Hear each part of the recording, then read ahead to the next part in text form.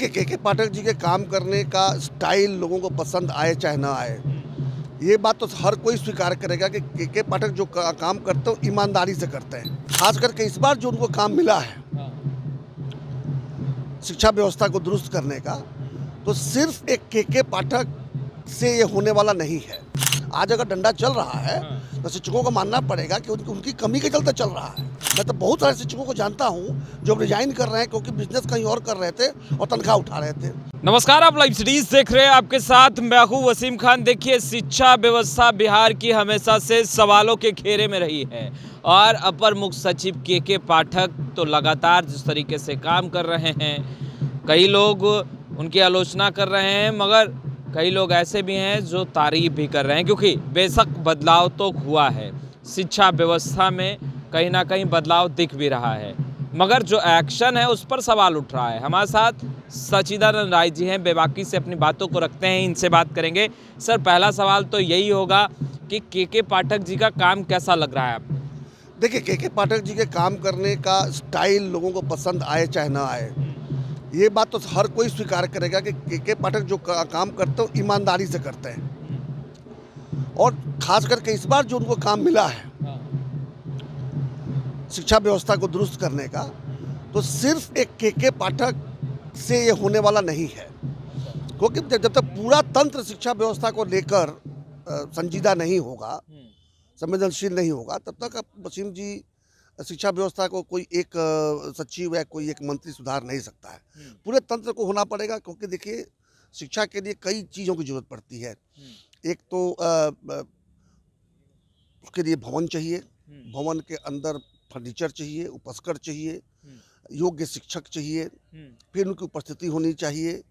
जो आजकल नए मॉडर्न तरीके आ गए हैं शिक्षा देने के उस तरह के इम्प्लीमेंट्स भी चाहिए उस तरह के सामान भी चाहिए। और सबसे बड़ी बात है कि आप शिक्षा के लिए स्कूल चलाते हैं न कि खिचड़ी और डिग्री बांटने के लिए चलाते हैं। ये बहुत महत्वपूर्ण है।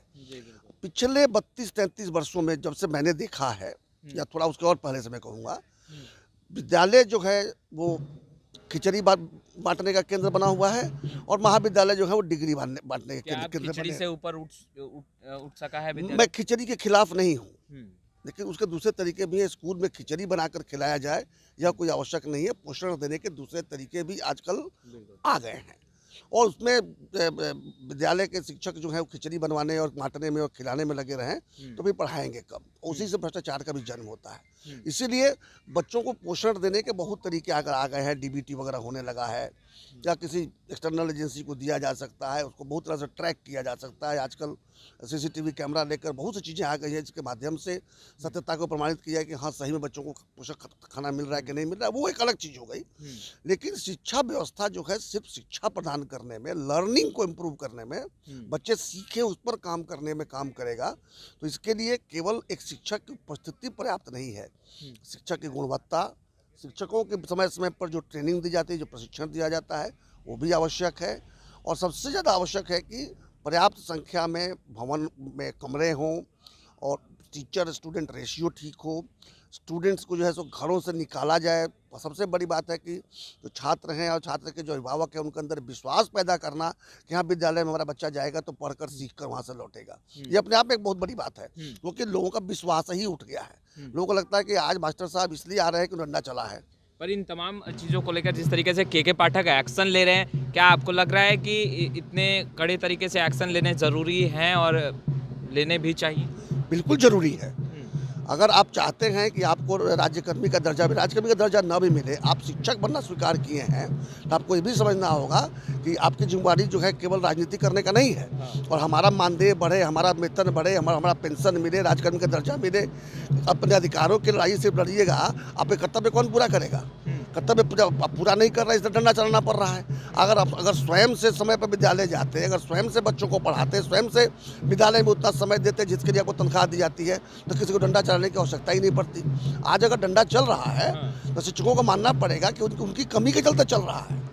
और इसलिए लग रहा है कि बहुत सख्त है। मैं तो बहुत सारे शिक्षकों को जानता हूँ जो रिजाइन कर रहे हैं क्योंकि बिज़नेस कहीं और कर रहे थे और तनख्वाह उठा रहे थे। आज वो बिज़नेस छोड़ नहीं सकते और हाजिर लगाए बिना तनख्वाह मिलेगा नहीं। तो उनको तय करना पड़ रहा है कि उनके लिए बिज़नेस आवश्यक है। सबको नौकरी आवश्यक है ऐसा भी है।